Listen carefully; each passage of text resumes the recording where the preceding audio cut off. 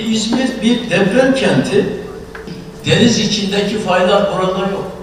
Her yerde faylar var. Burada gördüğünüz fayların her biri emin olun 7 ve üzerinde deprem üretebilir. Ha bunlar 7 ve üzerinde bir deprem üretirlerse bugün İzmir'i bak kelimenin anlamıyla bilerek söylüyorum felç eder felç. Öyle 120-130 tane insan vefatıyla kurtulamaz bu kent. Mümkün değil.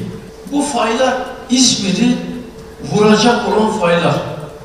Ama ne zaman, nasıl, ne büyüklükte onu bilmiyoruz. Şimdi düşünün ki bizim kentimizi tehdit eden bu fayları biz özelliklerini bilmiyoruz. Yani bundan daha büyük aymazlık olur mu ya? Sisam'da deprem oldu gördünüz. Yani o da Sisam'da oldu. Yani 70-80 kilometre uzakta. Allah korusun bir de İzmir fayı harekete geçse o körfez boyunca hiçbir bina kalmaz. Bakın size onu söyleyeyim. Kendi kendinizi aldatmayın.